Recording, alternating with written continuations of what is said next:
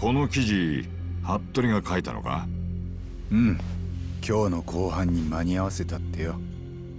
カムロ町で秘密の人体実験か。認知症新薬アドデック9記事のこの写真ってこの間小野のラボで僕が撮ったやつだよ。なるほど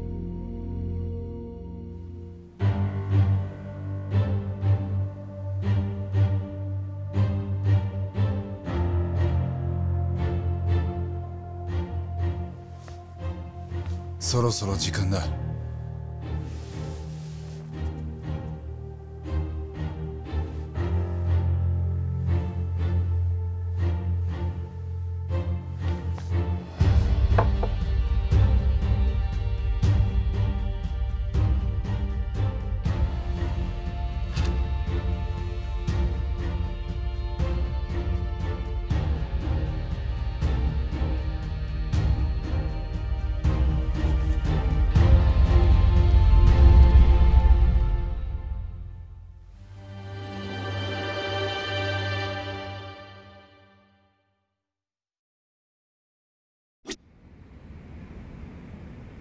の裁判に勝てば大久保の死刑もなくなる。今日中には無理でもその方向に持ってくよ。俺の人生に変えてもな。いよいよだな。ぶちかましてやれ。分かってる。おやっさんの敵だ。お前のスーツ姿。違和感しかねえな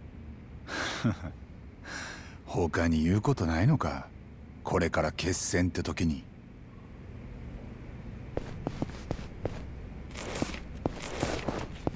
今日はよろしくお願いします。八神さんおそばで勉強させてもらいます。でもどうかな？あんまり真っ当な裁判にはならないと思うけど。ええだから勉強になるんですよ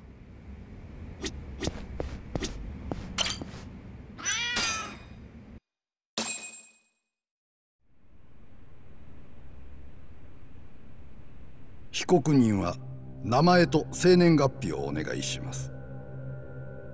綾部和也です。生年月日は昭和58年7月2日。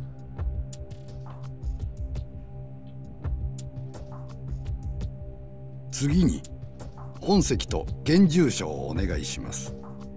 カムロ町弁護士殺害事件第1回公判被害者は新谷正道。そして被告人は綾部和也。新谷の遺体から出た弾には綾部の銃の線条痕が刻まれていた。綾部の犯行を示す最大の証拠だ。でもそれはモグラこと黒岩たちが仕組んだ偽装工作。綾部は白だ。つまりこの場で行われている法廷劇ははっきり茶番と言っていい。そう。今この瞬間までは。続いて本件と創薬センターとの関連を否定するにあたって検察側証人を尋問いたします。厚生労働省事務次官一ノ瀬薫さんを。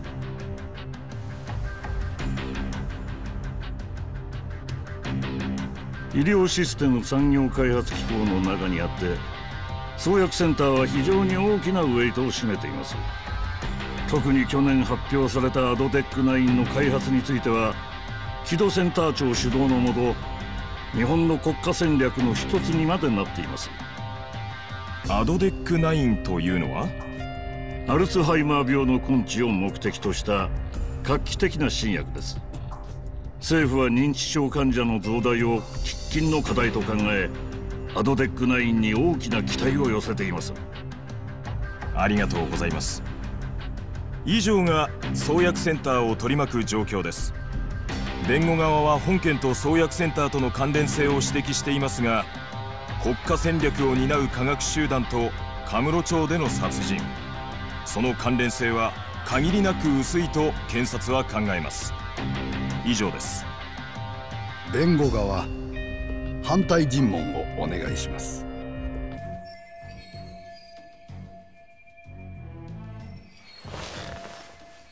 証人は事務次官とのことでしたがつまり厚労省官僚のトップですよね。肩書き上はそうなります。同期の人間を全て蹴落として今の地位を得た。つまりそうなるまでに大きな手柄を立てたということでしょうか。そのことが事件と何か関係ありますか？まあまあもう少し聞いてやってください。何ですって？2002年医療システム産業開発機構の設立にあたっては一ノ瀬さんがその中心人物だったと聞いています。結果創薬センターをはじめとする関連施設や組織がいくつも誕生しました。これを歓迎する厚労省の官僚たちは多かった。なぜな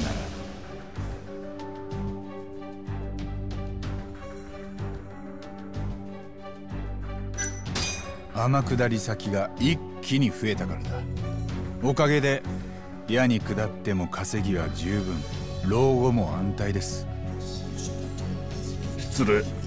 この場でする議論ではないと思いますが。なんとかセンターなんとか研究所なんとか病院。そういう関連組織の相談役や顧問ってポストが山ほど増えた。おかげでもし厚労省を辞めてもみんな再就職には困らない。やはりお手柄でしたね一ノ瀬さん。省内の人望を扱ったでしょうね。あなたが事務次官になったのも大いにうなずける。ですがいい時代も長くは続かなかった。その後医療システム産業開発機構は大した成果を上げられなかった。不景気の折世間がそれを放っておくわけもない。毎年の莫大な維持費は税金の無駄遣いと言われるようになった。するとセンターの閉鎖がささやかれその跡地を前提とした再開発計画なんてものまで出てきた。それを風見大臣が内々に OK したって噂もあります。ふん。この法廷は噂を議論の根拠にするんですか？噂といえばもう一つ。カムロ町では人の目がえぐられるという殺人事件が起きている。犯人はモグラと呼ばれる殺し屋だとでも実はそれはアドデック9の人体実験でカムロ町にある秘密のラボで行われているとか。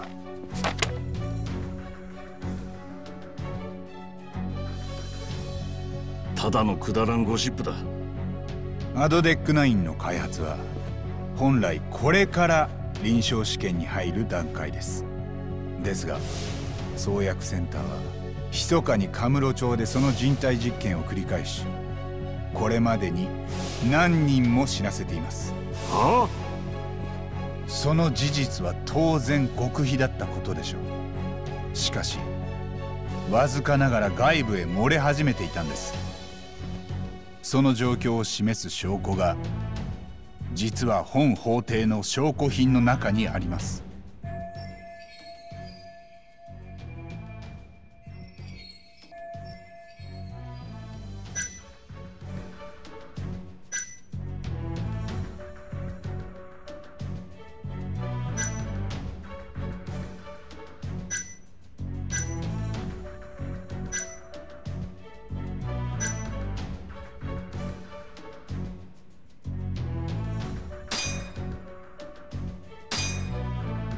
これです。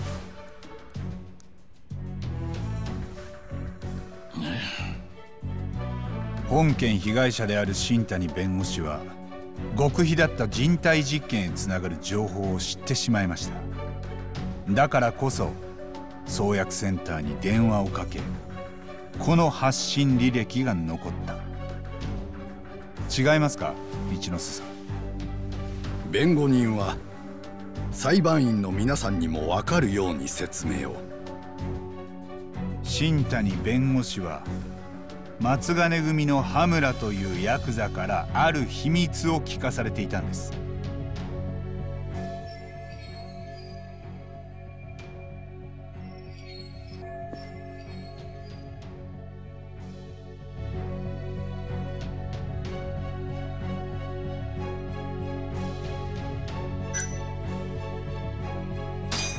新谷弁護士が羽村に聞かされたのはカムロ町の連続殺人と創薬センターのある人間との関与です。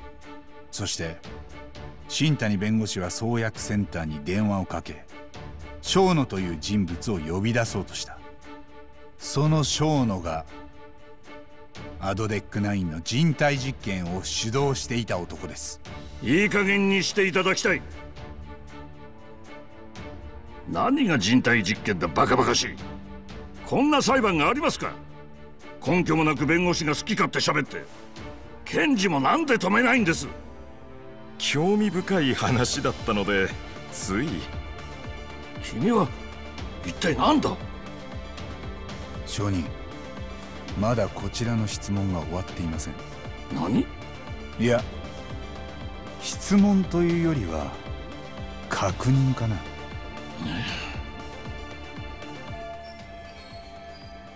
あなたは大久保新平をご存知ですね？ええ。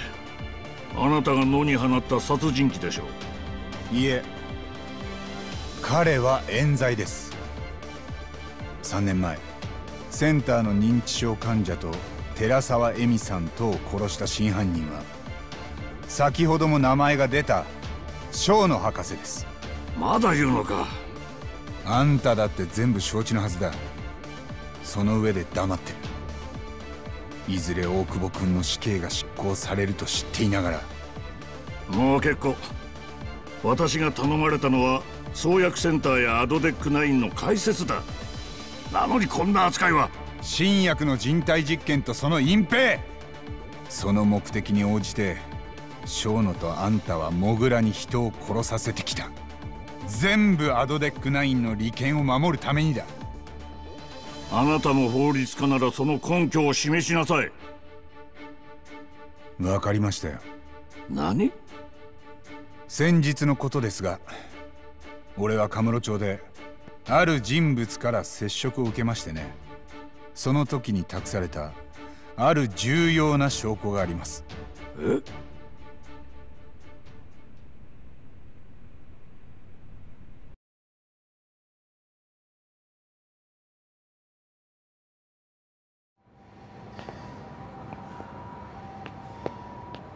誰だ？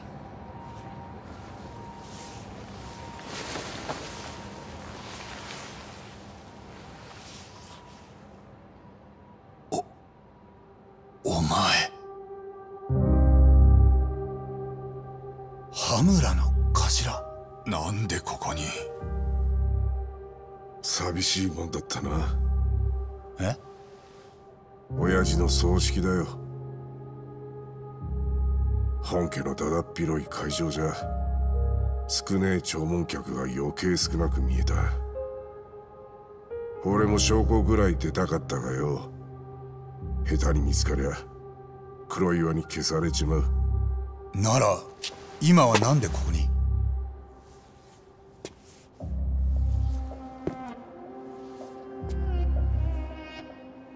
小野の秘密ラボを突き止めたなターボあそこは俺も知らされてなかった場所だ。お前を見くびってたよ。でも結局一ノ瀬たちに締め出されちまった。諦めが悪いのがお前の心情じゃなかったのか。お前に預けたいもんがある。何？俺のけじめだよけじめ？そいつは俺が持ってても何の意味もねえ。でも今のお前には必要かもな。そいつをお前に預ける。てめえでつけなきゃなんねえけじめを俺は親父に背負わせちまった。あの人は何にも悪くねえのによ。ここで俺が何もしなきゃあの世から親父が化けて出てくる。羽村。お前なら連中に勝てるかもしれねえ。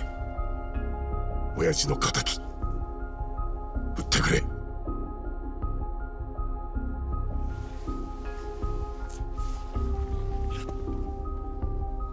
中にちょっとしたデータが入ってる。俺と一ノ瀬をつなぐ唯一の証拠だ。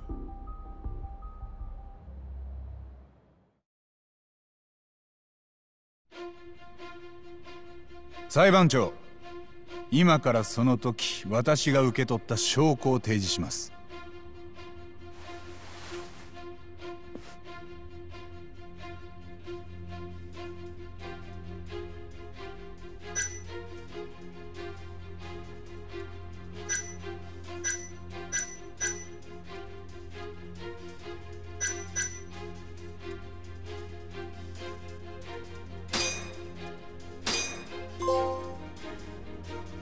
お聞きください。小野のことを漏らしたのはあなたですね。新谷という弁護士にです。彼から創薬センターに電話がかかってきた。いやまあ確かにそうだがよ。でも新谷は大丈夫だ。俺が一言言や黙る。何をのんきな。承知できません。これは大至急片付けるべき案件です。羽村さんそちらで手を打っていただく。またすぐに黒岩さんに頼んでください。報酬はまた1億で今回はあなたの不始末ですよ。これ以上私を怒らせないでください。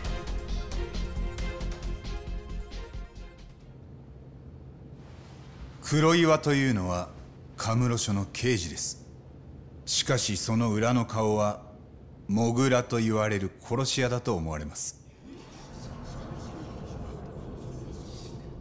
あんたは羽村を通じてその黒岩に新谷殺害を命じた。ふん。電話であんな話をするなんてね。あんたほどの人がよほど慌ててたらしい。そんな音声データいくらでも捏造できる。事実無根だ。証拠としては不十分だと。そうだ。ですがこれをはっきり裏付ける証人がいたとしたら連れてくればいい。では呼びましょう。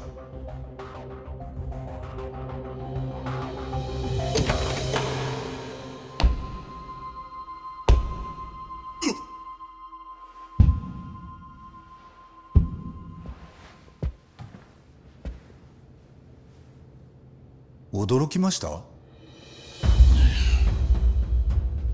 証人。この録音の会話は？一人は俺だ。もう一人はそこにいる一ノ瀬。間違いねえ。静粛に。君森田検事正はどこだ？このことを承知してるのか？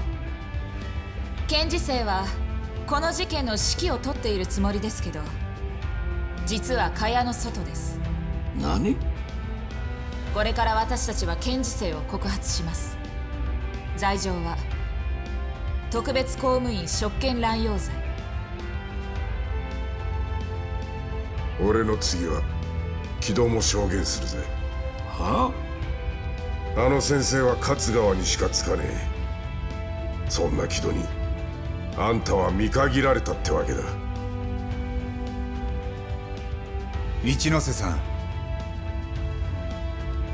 あんたも厳しい世界で上り詰めた男だ。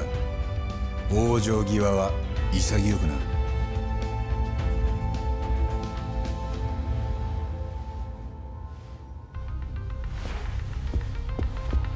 海藤さん！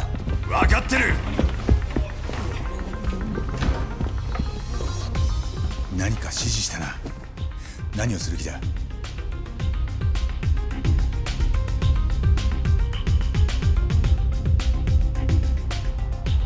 星野君後を頼んだ。え？星野君もいつか独り立ちしなきゃ。だろ？は？急で悪いんだけどな。今日がその日だ。ちょっとそうだ！星野君だから任せられるんだ。一流の2番手とかもう甘えたこと言うなよ。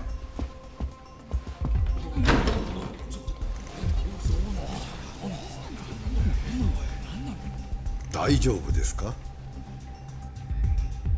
ええー、っとはあ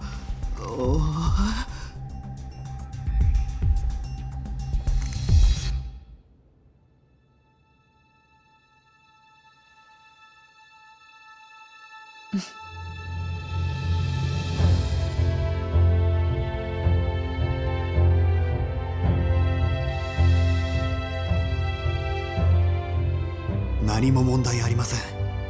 続けます。海藤さん。この野郎電話で指示飛ばしやがった誰に？何の指示を？モグラを始末しろだと。モグラを始末？じゃあ黒岩を消す気か？結局あいつもトカゲの尻尾だったわけだ。口を塞がれる。そうなりゃ事件はそこ止まりだ。ああ。黒岩はカムロ町にいる。行くぞ。今杉浦たちが車回してる。くっ。そ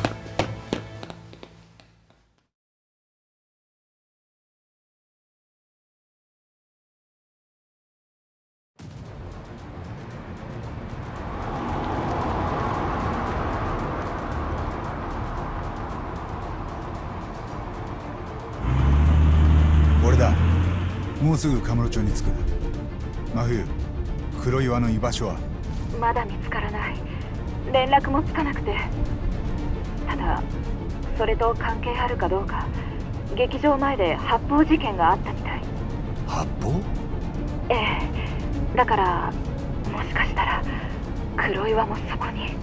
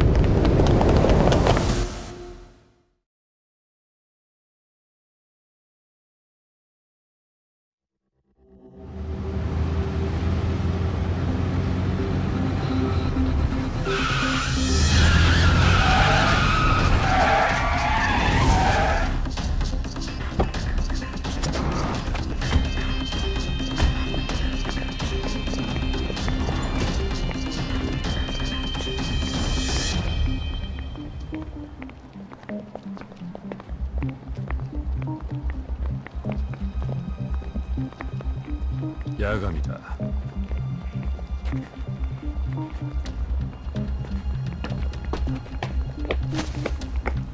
止まれ。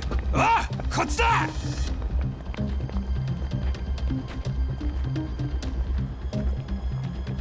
ただのチンピラじゃねえな。厚労省の雇ってる兵隊？邪魔してくるなら殴ってよし。劇場前まで突っ切っていくぞそう来なくっちゃない。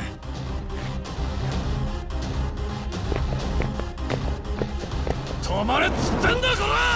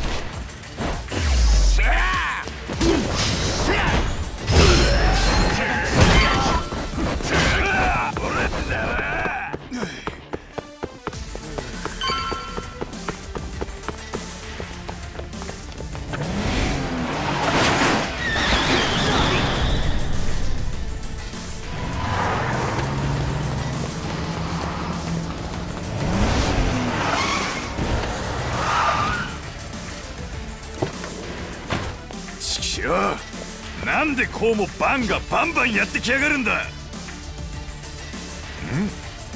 ま待て！違うぞ。ふざけてる場合じゃないんじゃない？兄貴。だから違うって！頼むよカイドウさん。頼りにしてるんだから。行くぞ！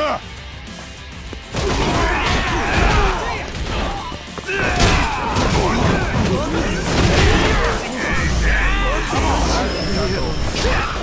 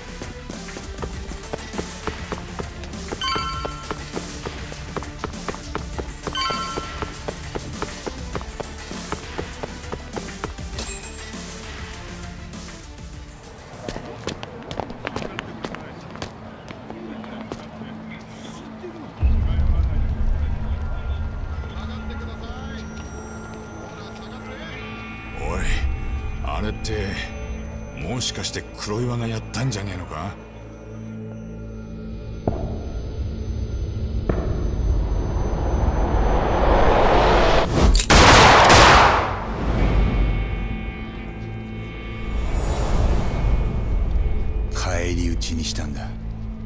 自分を殺しに来た連中でそれからどこ行ったんだ？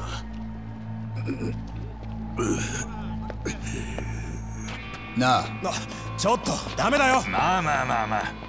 黒岩にやられたのか？奴は創薬センターに向かった。え？長野を殺す気だろう。狙われた復讐にアドデックナイン潰して事務次官たちも全員破滅させる。クズ同士で潰し合ってくれるってこと？やったじゃん。いや今小野に死なれたら結局事件は闇の中だ大久保君の冤罪も晴らせなくなるぞ。え？黒岩を追う。あ真冬。創薬センターに警官を手配できるか。小野が狙われてるらしい。すぐ安全な場所に移してくれ。手間のかかる野郎だ。ああ黒岩は見つけ次第確保。銃を持ってるぞ